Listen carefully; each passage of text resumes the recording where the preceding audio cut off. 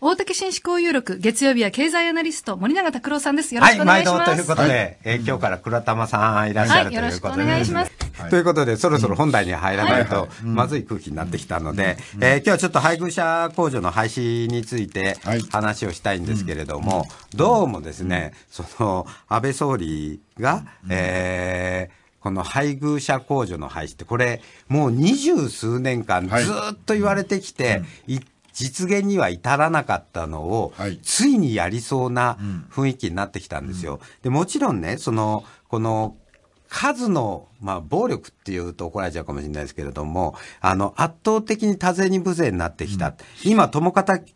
共働き世帯って1077万世帯あるんですけれども、それに対して専業主婦世帯は720万しかないんです。あ、そうなんだ。そう、そう、だから世論調査とかかけても配偶者控除廃止してもいいと思いますかっていうと、もう共稼ぎんちは、あんな廃止したって別に口関係ねえからいいよいいよって、えっていうともう圧倒的多数がいいようになっちゃうっていう社会環境になってきたっていう、状況もあるんですけれども、はい、私は一番今ムカついてるのがですね、うん、安倍総理自身は、なぜ配偶者控除を廃止するのかについてこう言ってんです。はい、多様な働き方に中立的な仕組みを作っていく必要があると。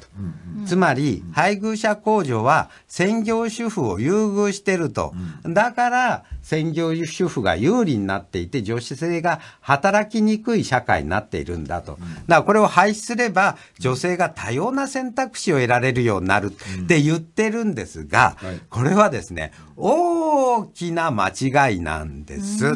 で、どこが間違えてるかっていうとですね、えー、まずですね、世帯で、うん、えー、まあ、だ誰が稼ぐかは別にして、世帯で600万円年収が必要だったとします。はい、えー、そうすると、これをこう夫が全部稼ぐとか、半々で稼ぐ。いろんなパターンがあるわけですよね。はい、で、専業主婦世帯、夫が全部この稼を稼ぐと、うん、所得税はですね、えー、今の税制で16万334円かかるんです。はい。はい。はい。で、ところがね、うん、今の税制で、これ300万、300万って、半分ずつ共稼ぎで稼いだとすると、うん、えー、所得税は10万7918円なんです。うん、つまり、今、現時点でも、専業主婦世帯は同じ世帯年収の共稼ぎよりも1.5倍も税金払ってんですよ。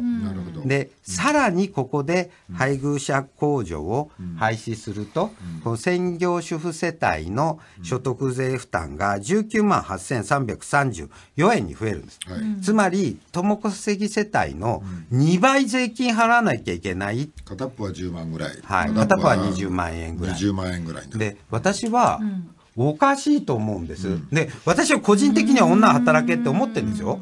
本当に思ってるんです。働くべきだと思ってるんですけど、そんなこと他人が言うべき話じゃないんですよ。それは家庭の中で夫と妻が話し合ってどういうふうに分担しますかっていうのを決めればいい話で、それを政府が特定のところに誘導しようっていうのは、私はライフスタイルの政府による直接コントロール、あの、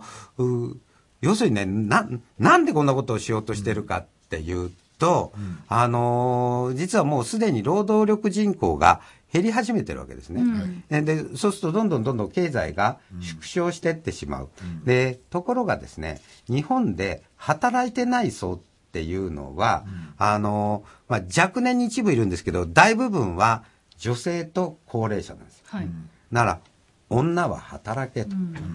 年寄りも働け。それで、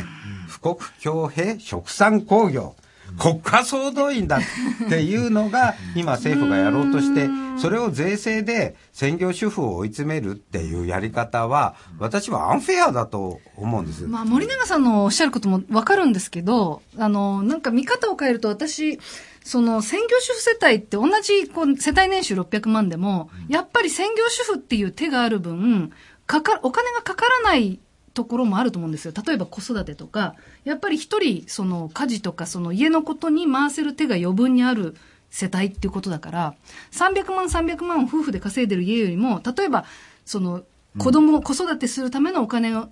かけなくて済むとか、その、介護するためのお金をかけなくて済むとか、やっぱりその分ちょっと有利かなって思うんですよね。奥様が働いてる分、介護とか子育てを、こう、アウトソーシングしなきゃいけなくなるうことですね。そのっていうこと分お金がかかるからやっぱりその税制的、税、税的にちゃ確かに優遇す、あの、があるのかもしれないけど、300、300の方が。でもやっぱかかるお金のことを考えたら、そのくらいの差はあってもしかるべきなのかなと思ってしまうんですけど。逆に言うと、例えば介護のために普通働いてたのに、会社を辞めざるを得なくなって、はいはいえー専業主婦になってる人たくさんいるんですよ。そういう人にとっては、もうダブルパンチですよね。金はな、収入は失うわ、うんで税金まで増えて。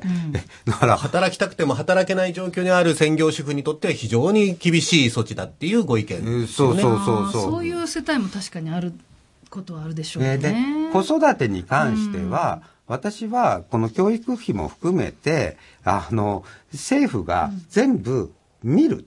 えー子育て経費は、もう子供は社会の宝なんだから、そのコストは社会として見るっていう方向性の方が正しいと思うんですけど、日本は、それは賛成ですよ。給食費とかね、まだやっぱ世帯ごとに取ってるっていうのはちょっと遅れてるなと思うけど、現状今そうじゃない、あの、それができてないから、